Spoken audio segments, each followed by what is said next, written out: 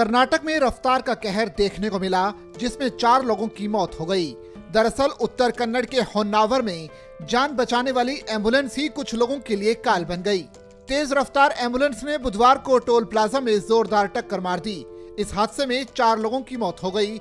Ambulance Kundapur के शितुर में toll booth पर दुर्घटनाग्रस्त हुई।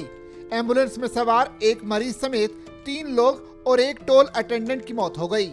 घटना का जो सीसीटीवी फुटेज सामने आया है, उसमें साफ़ तौर पर दिख रहा है कि तेज रफ्तार होने के कारण टोल के पास पहुँचने पर एंबुलेंस ने नियंत्रण खो दिया और टकरा गई। जानकारी के मुताबिक, एंबुलेंस निजी अस्पताल की थी और सीसीटीवी फुटेज को देखने पर साफ़ तौर पर पता चलता है कि एंबुलेंस की अत्यधिक स्पीड को देखकर टोल कर्मी पहले ही लगी बैरिकेटिंग को हटा रहे थे, लेकिन उन्हें इतना भी मौका नहीं मिला कि वो वहाँ से भाग पाते।